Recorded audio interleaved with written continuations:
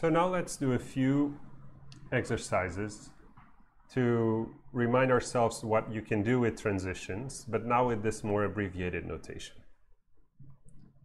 So again, you can always read pop or push in this order. Um, so let's say I want to read the stack zero. I want to read zero from uh, my stack.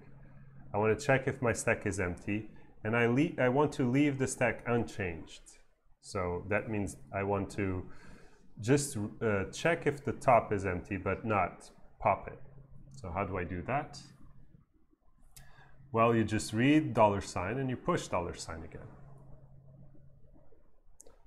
So that, what if I just want to check if the stack is simply empty, but I want to re, re, uh, leave the sentinel in the stack? So this is exercise two. How would you do that? Hit pause. Okay, so the way you could do that is just skip reading and pop and push the dollar sign.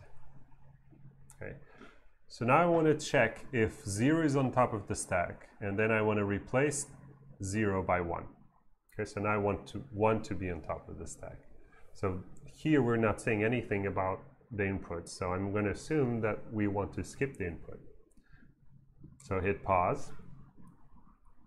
Okay what you can do is skip, pop 0, and push 1. Finally, what if I just want to read 2 from the input, and I want to leave my stack untouched? How do I do that? Hit pause. Okay. Can do it with just hitting skip on each of them.